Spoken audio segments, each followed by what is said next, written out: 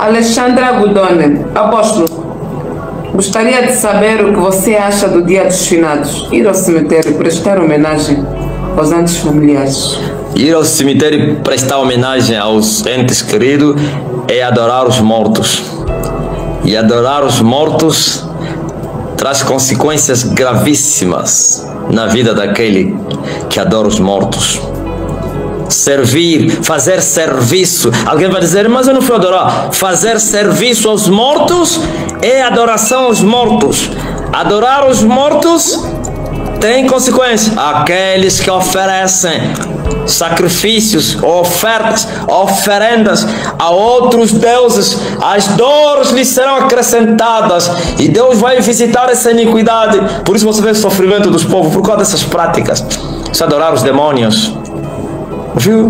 Morto não está aí, está no inferno. Dia dos finados. Eu já falei, volto a falar. Todas essas festas religiosas do mundo foram inventadas pela Igreja Católica. E tudo que a Igreja Católica inventou é diabo.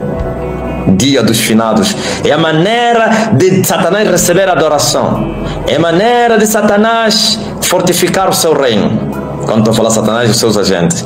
Porque quanto mais serviço se faz ao diabo, o reino da estrela fica mais forte.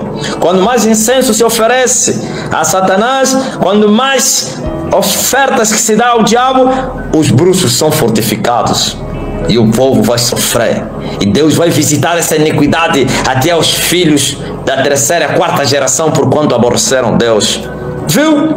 Sai do meio deles, povo meu. Não pense que isso foi fabricado somente para, para estimular, ai não, com um propósito espiritual e físico. Qual é o espiritual? Matar, roubar e destruir. Muitos que forem no cemitério no dia 2 para irem fazer sacrifício, se ele não era prisioneiro, vai ficar prisioneiro.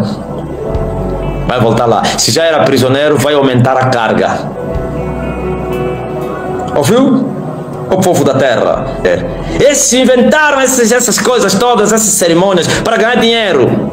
Amanhã vai se vender as flores, vai se vender não sei o que. Está no livro do Apocalipse que ela deu negócio, enriqueceu os povos, reis pequenos e grandes, com as suas mercadorias. Qual mercadoria? Da idolatria. Está lá no livro do Apocalipse. Que 17, ok? E quando for destruída, diz: ai, aquela grande cidade cujos mercadores se enriqueceram através dela. A sua opulência, ai que formosura, as suas luzes. Ouviu? Vão chorar porque ela vai ser queimada. Vai ser queimada. Sai do meio deles, povo meu. Dia dos finados. Não existe dia dos finados. Por que, que eles.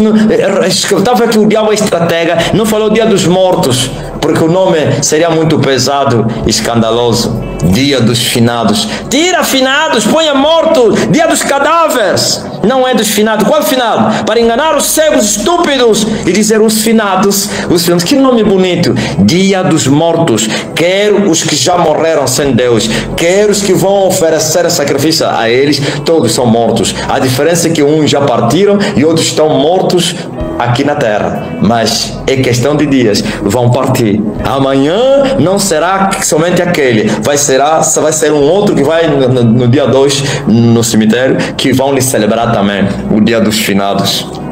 Finados. Que isso? Misericórdia, como diz os pentecas.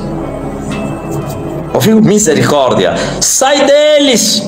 Não pratique essas práticas. Fuja. Os demônios naquele dia vão sair do inferno, os espíritos de morte, espírito de destruir casamento, espírito de enfermidade, espírito de miséria. Não somente os que vão sair embaixo, os que andam no ar à procura de casa. Andam lá como vento, sem morada. E naquele dia vão ter moradas, vão possuir pessoas. Pessoas vão sair do cemitério